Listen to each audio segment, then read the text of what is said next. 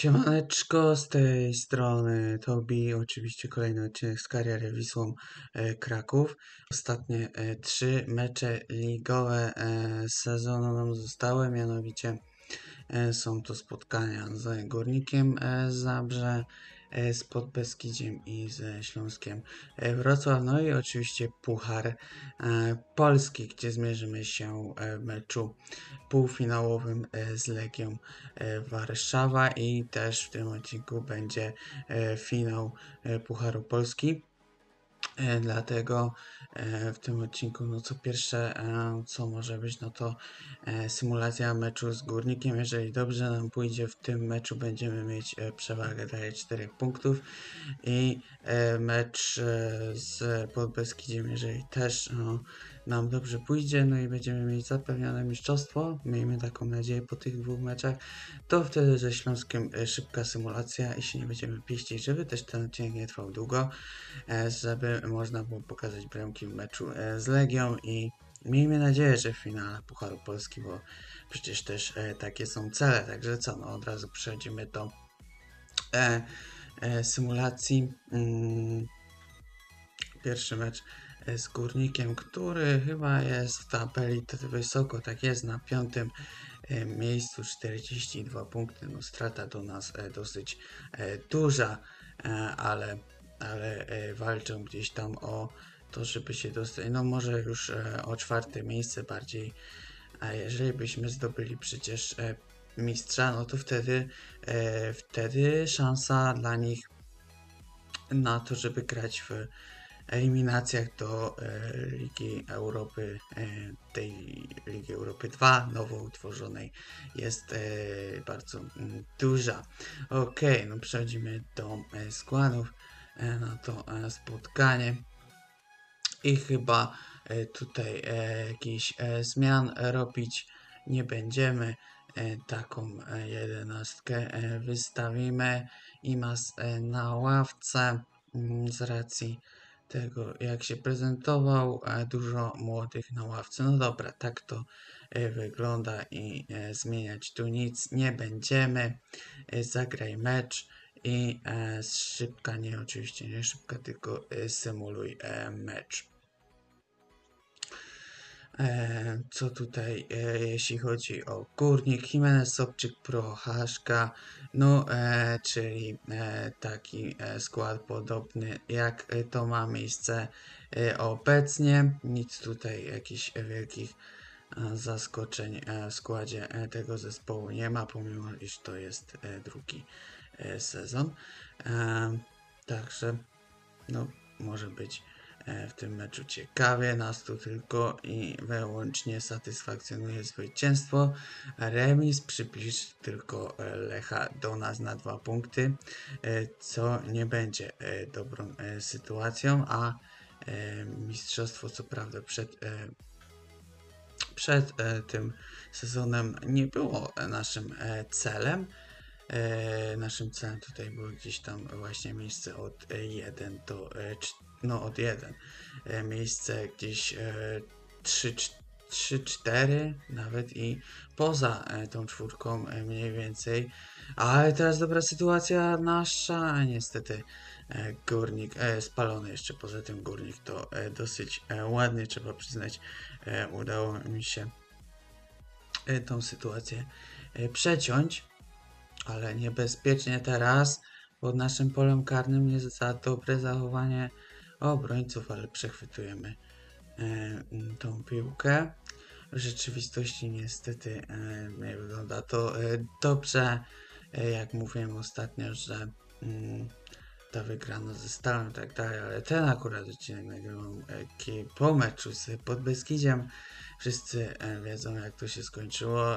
No, mm, ja to już tylko mm, nie wiem co nawet ten mecz mam powiedzieć. No raczej tutaj e, nie spodziewałem się, że aż tak źle to będzie wyglądało, ale też nie spodziewałem się, że będzie to wyglądało jakoś e, mega e, dobrze.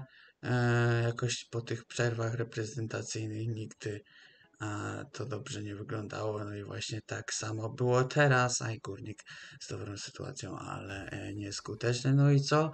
Dwa nasze strzały, jednak to przynosi e, tylko i wyłącznie strzały celne e, do statystyk, ale bramek to nie przynosi. Co do tej rzeczywistości jeszcze, no oczywiście, no to szkoda, e, na pewno troszkę przyzwyczajony do tej sytuacji, jak i wszyscy kibice Wisły e, są. Myślę, że mm, e, wszyscy doskonale mnie rozumieją.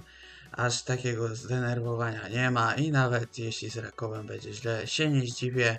Po prostu już ten sezon tak średnio mnie w tym momencie e, znaczy kibicować, kibicuję wiadomo zawsze, ale już ten sezon jest stracony, nie bójmy się tego powiedzieć.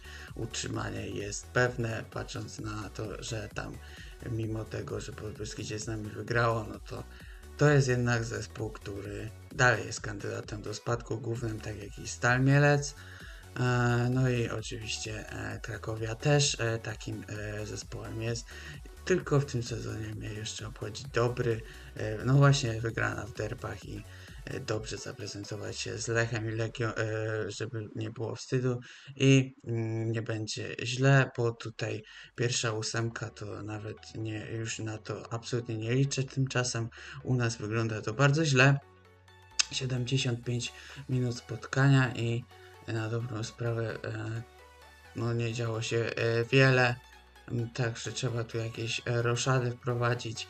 E, no, tego Pyrtiego jedynie, no i może Paszę dajmy na e, środek zamiast Dąbrowskiego. Nie fajnie by było ten mecz e, zremisować, ale na to się niestety zanosi. Mm, Także e, no szkoda, bo jeżeli Lech wygra, e, przybliży się do nas i i sytuacja nie będzie już taka piękna, jak to e, wspominałem na samym początku odcinka. Wtedy już wszystko się może e, w dalszym ciągu wydarzyć, tym bardziej, że jeszcze górnik ma sytuację, ale dobrze to e, wyjaśniamy. E, ładnie teraz. E, jest e, dla nas okazja. Brown Forbes, Brown Forbes, jest gol! 89 minuta, trzy strzały i mamy tą bramkę, która da nam prawdopodobnie zwycięstwo. Czy tak będzie? Tak jest, mamy to zwycięstwo. Niesamowicie ta bramka cieszy. O ile w rzeczywistości to wygląda średnio, to e, tutaj w FIFA e, bajecznie Forbes w 89 e, minucie daje nam upragnione zwycięstwo, o którym wspominałem i dzięki temu e, Lech nas nie dogania i dalej ma 4 punkty straty. Nie wiem, co by się tu musiało zdarzyć, żebyśmy tego mistrzostwa e, nie zdobyli. E, no musielibyśmy właśnie przegrać chyba oba mecze, Lech musiałby oba e, wygrać, co też nie jest pewne. Także sytuacja naprawdę doskonała. A już idealna będzie, jeżeli wygramy e, mecz e, z Podbeskidziem, bo wtedy wskakuje. No wtedy już mamy zapewniony, zapewniony tytuł i e, coś te symulacje się zacinają, nie wiem o co chodzi, ale dobra. E, ale wtedy już e, naprawdę możemy się tylko i wyłącznie na Pucharze Polski skupić i ze Śląskiem wystawimy rezerwową jedenastkę samych młodych zawodników. Nie będzie co tutaj e, nawet nie wiem, czy nie zaryzykować na e, właśnie wystawić tej jedenastki e, rezerwowej e, na mecz z Podbeskidziem. Ale mm, chyba jeszcze e, w nagrodę tym, którzy sobie za to szczególnie zapracowali w tym sezonie, damy e, pograć e, tym e, podstawowej 11. E, 16. U, w końcu, w końcu Jan Wodarczyk ma lat 16, możemy go przenieść do naszej pięknej, e, szerokiej e, kadry, a reszta tutaj z potencjał chyba spadł. Jest jeszcze, o, jest jeszcze ten Marcin Włodarczyk, na niego poczekamy, on tu też może być niezły. Tego paka to ja tutaj nie widzę, żeby to coś z tego było, więc on tam chyba nawet chciał odejść, przed chwilą był taki komunikat, więc niech odchodzi jak chce. Raczej go zatrzymywać nie będę. Mamy dużo młodych, lepszych e, zawodników. E, wyboru kapitana. E, a kto jest kapitanem? Przecież Kuba jest kapitanem. Mechremisz jest kapitanem. No to się musiało zmienić na ostatni mecz. Oczywiście Kuba. Kuba to jest e, zawodnik, który tym kapitanem e, zostanie. Tutaj nie ma wszelkich wątpliwości. E, Zastanawiam się, czy właśnie Mechremicza też nie zmienić. No dobra, damy szansę. Hoja Kowalski wkracza do akcji. Niech chłopak sobie pogra. E, niech e, nabywa e, doświadczenia, tylko on ma którą prawą nogę lepszą. Z racji, że Frydrych ma cztery słabsze, no to Hojo zagra. E, Hojo, Ojo. E, oczywiście H jest nieme, e, jak to już się przyjęło.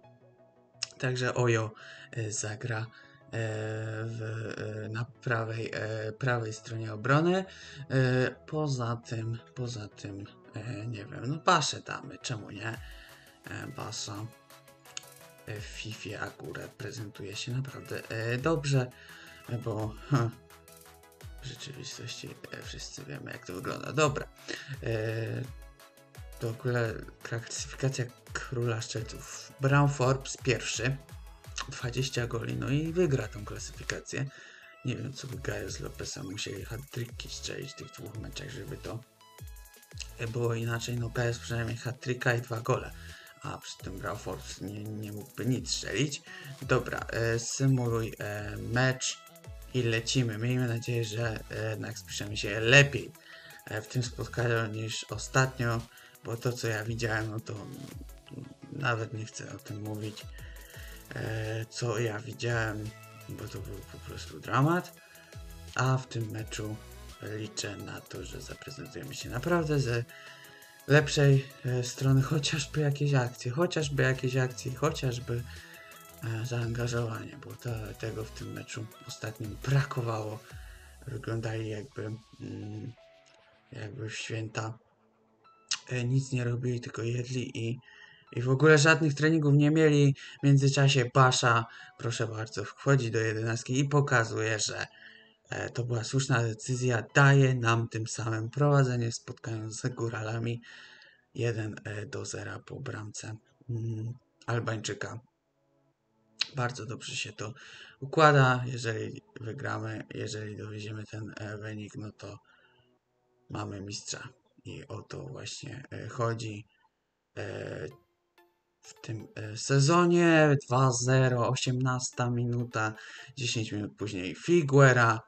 Wpisuje się także dwóch pomocników.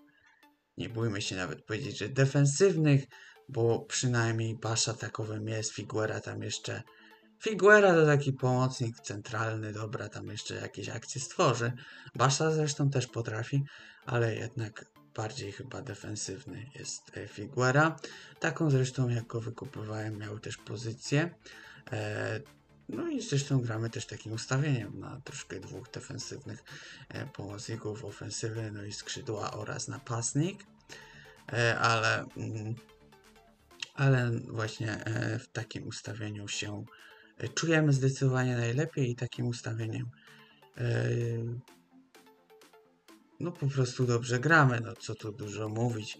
Jak to przynosi takie, a nie inne rezultaty, no to co tu e, dużo zmieniać. Właściwie nie trzeba nic, skoro też zespoły nie potrafią się temu przeciwstawić, no to musimy e, tak grać. No, tymczasem mamy 40 minutę spotkania i pewne e, 2-0, jeszcze idzie kontra. No troszkę Savic tutaj chyba zepsuł e, tą sytuację, bo można było e, to lepiej e, zrobić, ale spokojnie mamy 2-0. W ogóle widać, że Podbeskidzie jest znacznie bardziej zmęczone od nas. Mimo tego, że my mamy więcej gdzieś tych spotkań, bo Puchar Polski i tak dalej, to oni troszkę kondycyjnie nie potrafią nam dorównać. Dwa strzały, dwa gole. To mi się podoba. Taka powinna być skuteczność. No wiadomo, że może być więcej tych okazji, ale i tak w tym meczu, jak i w ogóle najważniejsze jest punktowanie, a jeszcze lepszy styl przyjdzie z czasem, bo przecież nie planuje kończyć tej kariery, tylko planuje ją prowadzić do końca e, FIFA. No, czy do końca FIFA, nie wiem w sumie, ale jeszcze parę e, miesięcy e, do wakacji przynajmniej. Raczej tak, jeszcze jakieś inne kariery będą. No póki ta kariera gdzieś tam, że tak powiem, e, jej nie zepsuje, no to, e, no to, to będzie funkcjonowała do e, długi czas. Myślę, że za chwilę wprowadzimy też zmiany i jakieś damy szansę innym zawodnikom troszeczkę pograć. Jeszcze może jakaś brameczka na 3-0 fajnie. Jakby było ją szczęść Brown Forbes!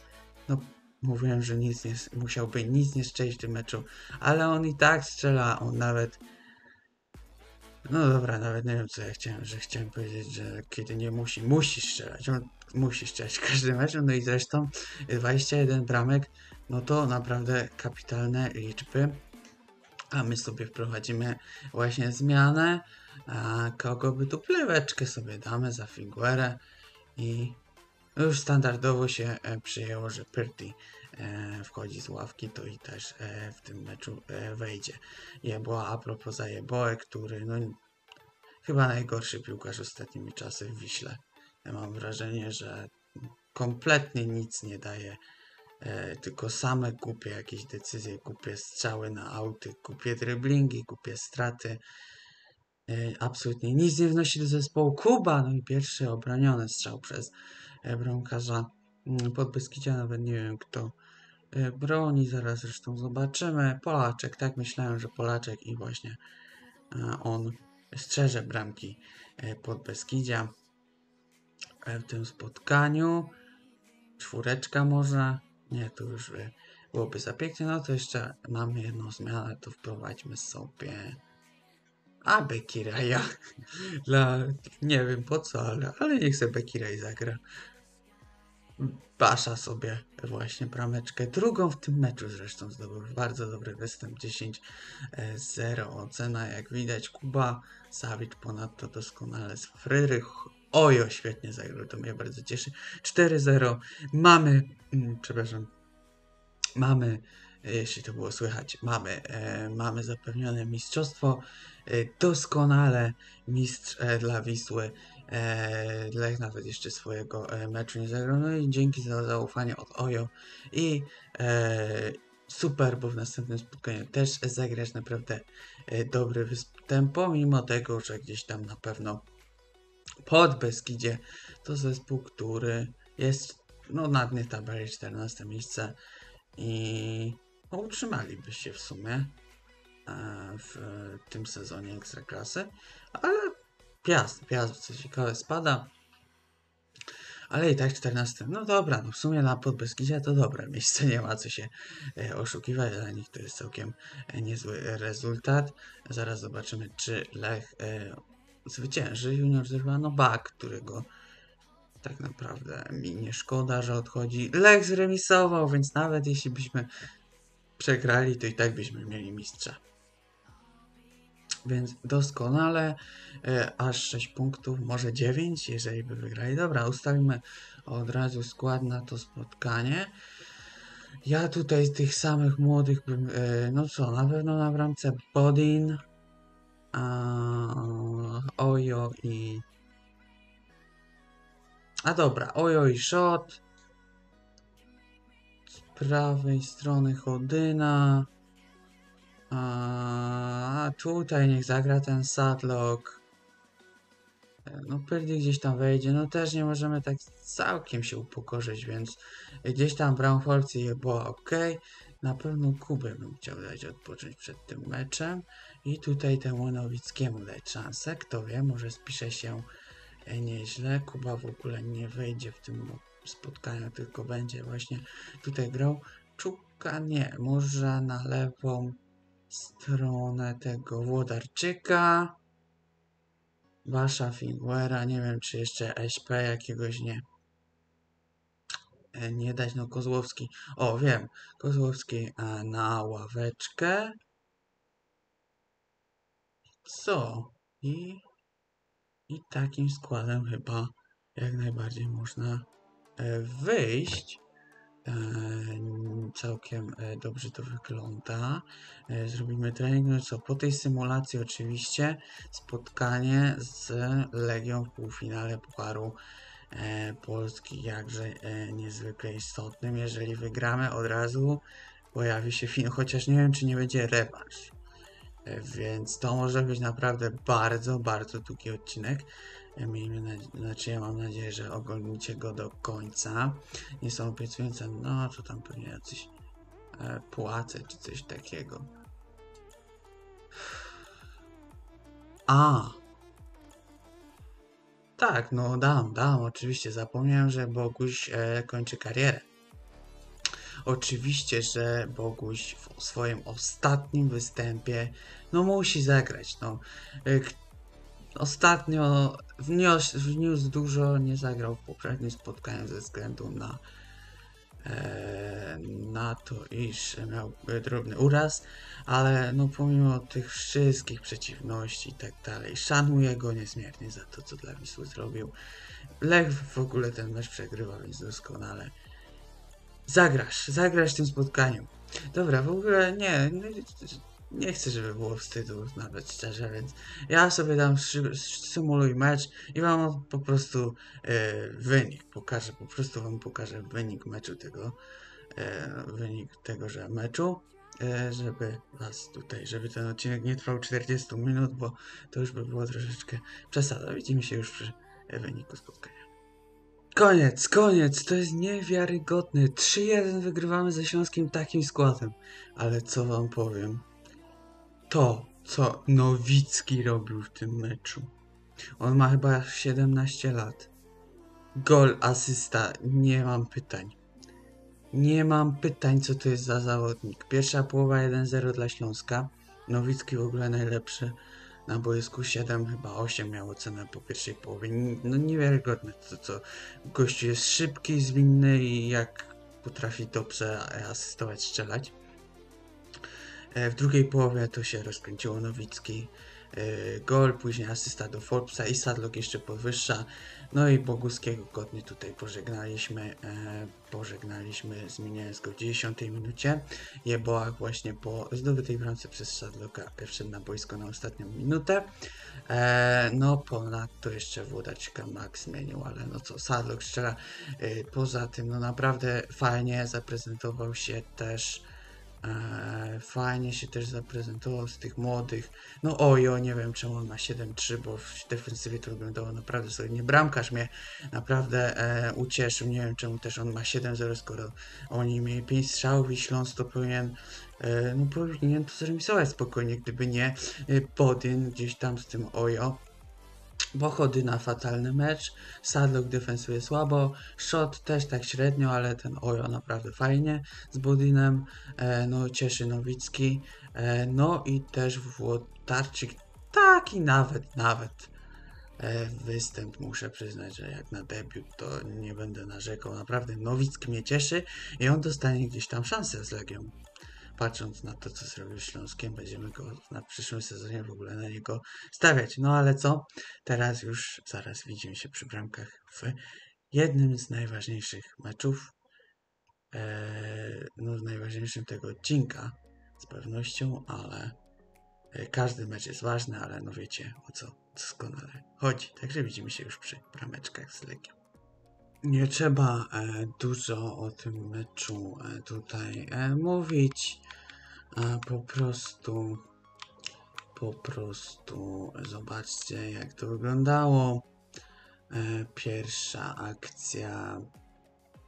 Może mój błąd, może nie, nie wiem co tu w każdym razie. I tak Ojo zrobił. Tutaj natomiast no, dziwna bramka, że Basza to trafił 1-1. Później pudło Kuby.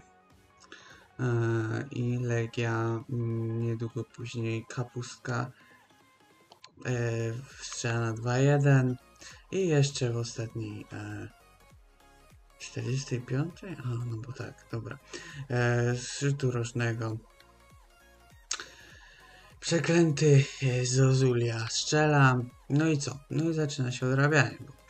Fajnie, no tylko że co to nam dało, skoro tutaj jeboa tutaj e, Kuba daje e, nam e, remis w tym spotkaniu. Skoro w 88 minucie Rafael Lopez strzela na 4 do 3 i niestety musimy się, jeżeli nie ma rewanżu, zaraz zobaczymy, musimy się pożegnać z Pucharem Polski. Szkoda. E, tak, raczej tutaj chyba rewanżu nie ma, także finał Raków kontra, kontra Legia. Zresztą zaraz zobaczymy i będziemy się już w tym odcinku e, żegnać. E, Liga już jest wygrana. Tak, nie ma rewanżu, także niestety, ale, ale no, cel zrealizowany. E, w, ponadto, ponieważ udało nam się e, zapewnić sobie mistrzostwo, a cel to był kwalifikacja do rozgrywek europejskich i Puchar Kraju Ćwierćfinału, a my awansowaliśmy do półfinału. Ponadto 7 meczów e, bez porażki w meczach u siebie, a my mieliśmy takich meczów 15. E, co oznacza, że my chyba nie przegraliśmy meczu u siebie. E, Zresztą zaraz zobaczymy w ogóle ile meczów przegraliśmy. Przegraliśmy 3 i 20 zwycięstw. No to no mi się wydaje, że my u siebie po prostu nie przegraliśmy ani jednego spotkania, nie licząc niestety tego Pucharu Polski właśnie. 7 remisów, bardzo dobry sezon, przewaga aż 9 punktów nad Lechem Poznań. No ostatecznie to się rozstrzygnęło na koniec gdzieś tam w tych czterech ostatnich meczach. E, taka trzech meczach właściwie taka przewaga. Niemniej jednak możemy być bardzo e, z tego sezonu zadowoleni i dumni z siebie i już możecie pisać propozycje transferowe na kolejny sezon. Myślę, że gdzieś tam e, no celem teraz jest awans przynajmniej do Ligi Europy. Eee, I fajnie by było go zrealizować. W FIFA nie jest to jakoś niesamowicie ciężkie, także e, raczej to powinno się udać. Budżet też tam będzie po mistrzostwie. Myślę, że około 3 milionów gdzieś tam możemy się zakręcić jeszcze, jak awansujemy do jakichś europejskich puarów będzie więcej. Na pewno e, priorytetem jest, no co tu dużo mówić, środkowy obrońca. E, razem z u boku Frydrycha przydałby się ktoś inny. Tak samo myślę nad prawym obrońcą. No i chyba. E, no to są takie dwa priorytety, resztę to zobaczymy po prostu jakieś okazje, bo e, no nie wiem, czy z Brown Forbesem możemy wyjść na Ligę e, Europy czy Ligę Mistrzów, więc zobaczymy. Ja dziękuję za oglądanie, zostawcie subika, lajka. Padajcie na face to face football. Mm, no i to tyle. Do zobaczenia w kolejnych odcineczkach. Siema.